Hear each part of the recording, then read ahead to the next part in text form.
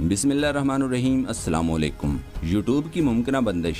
हुकूमत ने video sharing website YouTube की मुमकिन तौर पर बंदिश के हवाले से खबरों को गैर मुसदका करार दे दिया। वज़ीर अजम के फोकल पर्सन बरए डिजिटल मीडिया ने पाकिस्तान में यूट्यूब को बंद करने से मुतल कहा, इसे बंद करने का सवाल ही पैदा नहीं होता। फोकल पर्सन बरए वज़ीर अजम digital media doctor Arsalan Khalid ने माइक्रो ब्लॉगिंग वेबसाइट ट्विटर पर अपने ट्वीट में हुकूमती पॉलिसी बयान की और बताया की पाकिस्तान में हर गुजरते दिन के साथ डिजिटल मीडिया इंडस्ट्री में निखार आ रहा है। पाकिस्तान के यूट्यूबर्स क्वालिटी वीडियोस तैयार कर रहे हैं। ऐसे लोगों की तादाद में इजाफा हो रहा है। इस वक्त डिजिटल पब्लिशर्स और यूट्यूबर्स को रोकने की नहीं, बल्कि इनकी हौसला अफजाई की ज़रूरत है। डॉक्टर अरसलान खालिद का कहना था, पाकिस्तान में बीस में यूट्यूब आरोप जो पाबंदी आयद की गई वो इंडस्ट्री के लिए तबाहकुन साबित हुई, जिसकी वजह से पाकिस्तान में अब तक गूगल फेसबुक और ट्विटर वगैरह के दफातर नहीं खुल सके। सुप्रीम कोर्ट के अहकाम की रोशनी में डिजिटल मीडिया रेगुलेशन को मजीद बेहतर बनाया जाएगा। साइबर क्राइम एक्ट के हवाले से पहले ही टेक्नोलॉजी कंपनियों से मुजाकर हो चुके हैं। वज़ीर अजम के फोकल पर्सन बरए digital media doctor Arsan Khalid ने मजीद वाजह किया कि पाकिस्तान में यूट्यूब बंद करने का सवाल ही पैदा नहीं होता। दूसरी जानब मावन, खसूसी बरए डिजिटल पाकिस्तान तानिया दरूस ने कहा की यूट्यूब प्लेटफार्म पर पाबंदी लगाना मसले का हल नहीं। यूट्यूब से हज़ारों अफराद के लिए रोज़गार के मौके पैदा हुए हैं।